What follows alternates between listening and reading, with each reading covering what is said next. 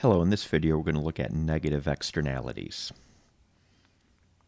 A negative externality is a cost that spills over onto people not involved in the activity.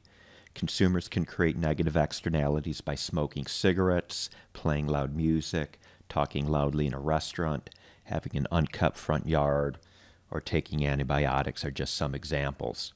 So some of the costs of these activities will spill over onto third parties. Somebody smoking a cigarette, there could be bystanders who smell the smoke, they don't like it, they might have asthma. So that's a cost being imposed onto third parties. Firms can create negative externalities. The production process may create pollution, it could create loud noise. Retail stores may bring a lot of traffic, creating traffic congestion. So some of the costs of this production are being spilled over again onto outsiders, third parties, people outside the activity. The pollution goes downstream, uh, affecting uh, people who live downstream. The pollution goes up in the air, affecting people in the nearby geographic region. Just because an activity creates a negative externality doesn't necessarily we want to ban it. So, for example, cutting your lawn creates a noise that may disturb your neighbors, but it also makes your lawn look nice for your neighbors. Taking antibiotics increases the likelihood of bacteria becoming drug resistant in the future, but antibi- antibiotics also helps fight bacterial infections. Fertilizer runoff pollutes waterways, but fertilizer also increases crop yields and lowers food prices. So the goal here is to reduce the activity that creates a negative externality to its efficient or optimum level. The efficient level of pollution is not zero. The cost would outweigh the benefits from such a large reduction. So the problem with negative externalities is that markets will produce too much output, an inefficiently high level of output. There will be a deadweight loss, producing units of output that consumers value less than the social cost of those units. So once all the costs are taken into account, the private costs of production and these external costs, uh, there'll be some units that are being produced and consumed which the cost outweigh the benefits. That is a deadweight loss. Why is there too much output? Firms only consider the private costs of production. Negative externalities from pollution create external costs that are not paid by the firm. These are paid by other people. People who have asthma now uh, might end up in the ER room uh, more frequently now. That is a cost being paid by other people. The firm is not considering the social costs of production when setting output firm will only consider the costs that it is responsible for paying, the private costs. A graphical example here uh, that deals with negative externalities.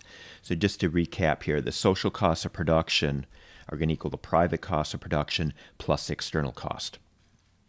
Efficiency or the optimum output requires producing output where the demand curve intersects the social cost curve. So before I go on, let's take a look at this diagram. So let's take a graphical look here. We got a market with a negative externality. We got a downward sloping demand curve as usual. Here's our downward sloping demand curve. And we have our upward sloping supply curve. And I'm labeling this supply curve our private cost curve. The market outcome would occur where just the, the supply curve intersects the demand curve, and that would be at a price of $5 and a quantity of 5. So that would be the market outcome. But in the presence of a negative externality, that is not efficient. So in this example, the negative externality brings about an external cost equal to $2 per unit. So every time a firm produces this unit, it does perhaps $2 of environmental damage.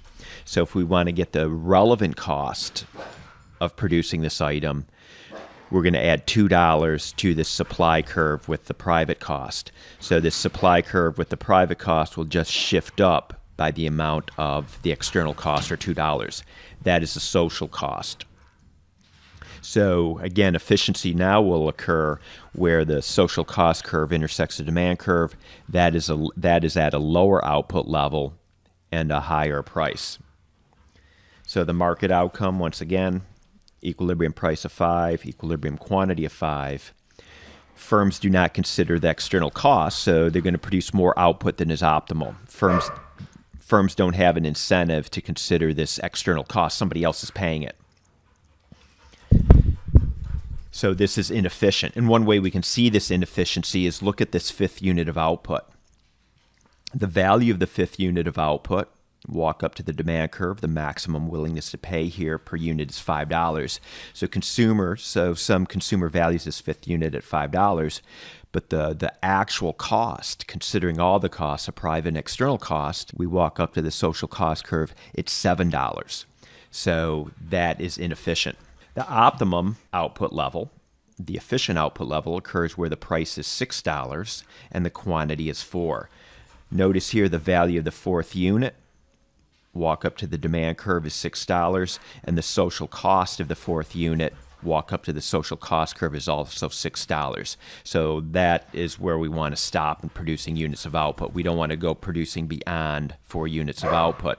Otherwise, the social cost curve will rise above the maximum willingness to pay curve, which is just the demand curve. So just to kind of recap, the social cost curve is found by adding the external cost to the supply curve with private cost. In this case, external cost is just this vertical distance between these two supply curves. There is a role for government in the presence of negative externalities. The, cover, the government could achieve the optimum output by putting a $2 per unit tax in the market, where the size of the tax equals external cost. A $2 tax, as we learned before, shifts the supply curve, the supply curve with private cost, up vertically by $2.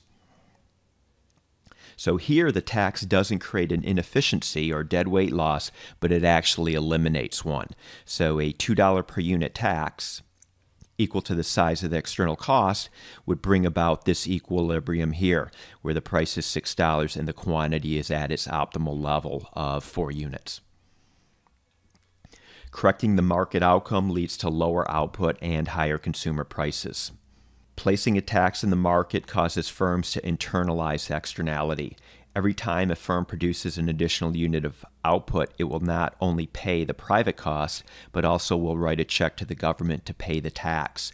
So the higher cost of production will now lead the firm to produce less output. This activity is no longer as profitable a $2 tax placed on buyers is equivalent to a $2 tax placed on sellers. So the government could address the external costs through the demand side of the market, shifting down vertically the demand curve by $2. So the tax incidence, the tax burden is excuse me, is unchanged regardless of which side of the market we tax. Taxes that are used to correct negative externalities are called Pigouvian taxes, named after Arthur Pigou. Okay, I hope you found this video helpful.